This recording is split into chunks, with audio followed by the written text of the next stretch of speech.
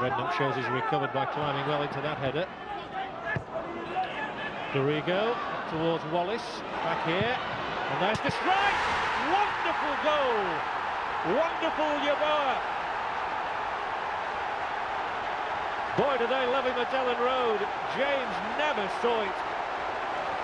Well, he did it to West Ham on Saturday, and this man is quite sensational around the goal-scoring area. He doesn't even look up. Dorigo whacks it in there.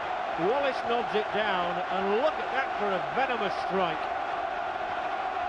Tony Yeboah, the new darling of Elland Road, hammers it into the roof of the Liverpool net. And his record now is 15 in 20 games. And that is why. 51 minutes gone at Elland Road, Leeds 1, Liverpool nil. You won't see many more spectacular goals than that all season.